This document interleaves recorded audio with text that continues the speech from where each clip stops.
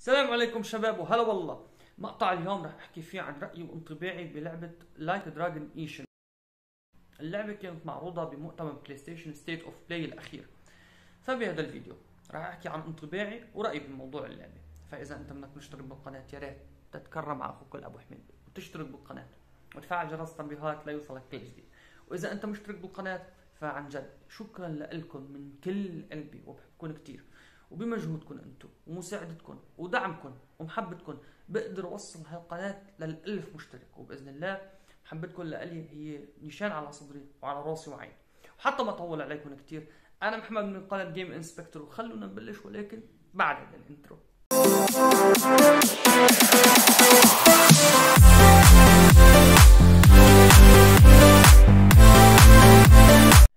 Like a Dragon Ishin من تطوير شركة Sega واللعبة هي عبارة عن remake يعني اللعبة كانت إصدارها الأول سنة 2014 وهلا رح شوي أنا وأنتو نشوف بعض المشاهد من اللعبة الأصلية. يعني اللعبة اللي كانت موجودة بال 2014 خلونا نشوفها.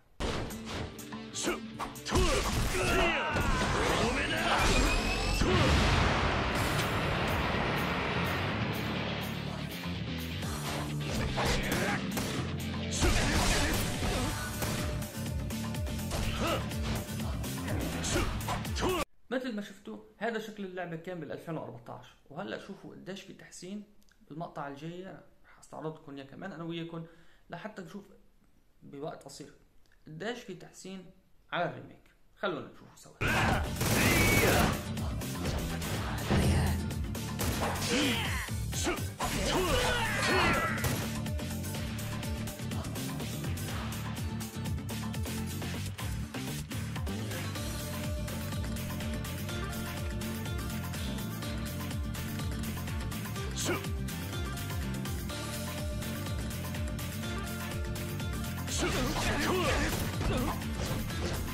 اللعبة قادمة على ال PlayStation 4 وال PlayStation 5 وال PC وال Xbox 1 وال Xbox Series S و X بفبراير 2023 يعني بشباط سنة 2023 اللعبة رح تقدم عالم مفتوح بمناطق اليابان مشابه إلى عالم الياكوزا تماما ولكن بالقرن التاسع عشر. أما إذا بدي أحكي شوي عن القصة فأنا بخبركم من هلأ أنه قصة اللعبة تعتبر من القصص القوية. ودائما الألعاب اليابانية يمتازون ومعروفين هن بالعمق بالقصة. وهذا بيعطيهم نقاط إيجابية بجميع العابهم إنهم هن عندهم دائما قصة قوية محبوكة جدا جدا وبيشتغلوا كثير على الشخصيات بدرجة إنه أنت تحب شخصية البطل أو الشخصيات الثانويه ممكن تتعاطف معها وممكن تحبها. لذلك أنا بعتبر إنه القصة رح تكون قصة اللعبة كثير قوية هذا رايي وخلونا أنا وياكم شوي نشوف تصميم العالم ونشوف كيف شكل العالم هيك بنظرة عن قرب وبنحكي فيها داخل الفيديو إن شاء الله. عالم اللعبة مصمم بطريقة جيدة جدا ليعكس صورة اليابان والأجواء اليابانية. وهالشي خلاني آخذ فكرة عن العصر اللي هي فيه وخلاني منغمس بكل تفصيل كبير وصغير ومعجب بهذا العالم لأبعد الحدود. معجب بالمناظر اللي فيه معجب باللباس الياباني معجب بالطرقات اللي فيه بالأزقة اللي فيه بكل شي فيه. وبعد ما شفنا تصميم العالم أنا وياكم وحكينا عنه خلونا نشوف بنظرة دقيقة جدا عمق الشخصيات وواقعيتها. خلونا نستعرض الفيديو وبنحكي عنه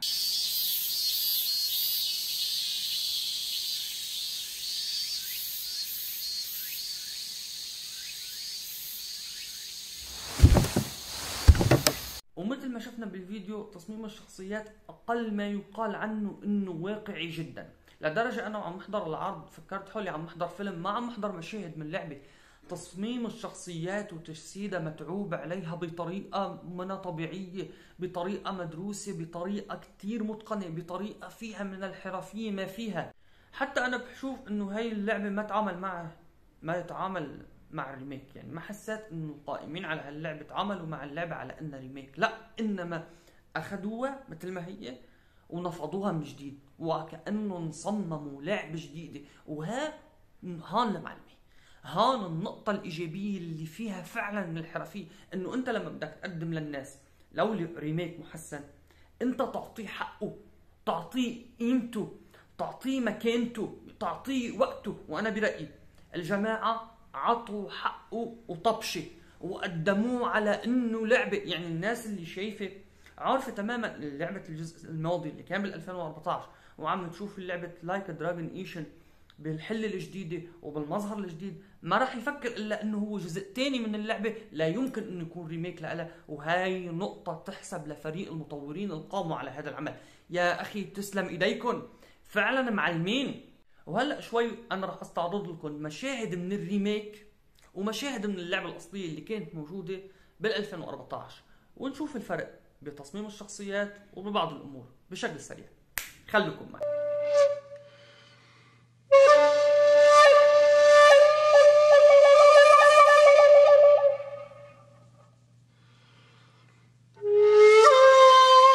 أما عن الأداء الصوتي فالجماعه جايبين مشاهير ممثلين مشاهير موجودين باليابان وكانوا موجودين اصلا بالعاب سابقه وهلا انا وياكم رح نستعرض شوي من الاداء الصوتي تبع الشخصيات وشوفوا قديش في حرفيه 民そんな男を今なお俗世間への未練に縛り付けるものは何だ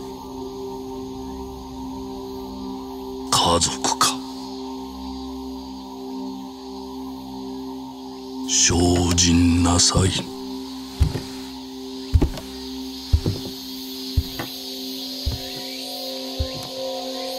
ومثل ما شفنا انا برايي الشخصي المتواضع انه الاداء الصوتي ممتاز وما في اي حكي عليه ولا غبار عليه مقارنه مع العاب تانية يعني الممثلين عاطيين ال- ال- الدار حقه يعني بتقول ابدا شربينينا بالمعلقة وعاطيين هالدار حقه. يا أخي أنا بحب الشغلات اللي فيها معلمية. ما- مرائي أنا بحب الشغلات المكتملة. هيك مزاج. والله العظيم أنا معجب. فعلا معجب بكل تفصيل بهاللعبة. بهال بهال يعني بهالتقديم للريميك. فعلا لأنه فعلا متعوب عليه. فعلا ما تضيع حق الجماعة. متعوب سواء كنتم محبين شركة سوني ولا لا. أنا ماني عم طبل لشركة سوني. لا. ولكن القصص المتعوب عليها والشيء المتعوب عليه بحب اعطيه حقه. وبرأيي الشخصي والمتواضع إنه هاللعبة ممكن تكون أهم الألعاب القادمة 2023 هذا رأيي الشخصي المتواضع. وبنهاية الفيديو أصدقائي إذا ما كنت مشترك بالقناة أخوك ابو حميد وكرمال هالعيون. اشترك بالقناة وفعل جرس التنبيهات وأنا لك من الشاكرين والممنونين. وإذا أنت مشترك بالقناة عزيزي المتابع فيا ريت تعمل لايك للفيديو وتنشره لأكبر عدد ممكن من الأصدقاء. وأنا فعلا ممنونك ومشكور لك ومن هالله مقطع جديد وفيديو جديد. دمتم في أمان الله. والسلام عليكم ورحمة الله وبركاته.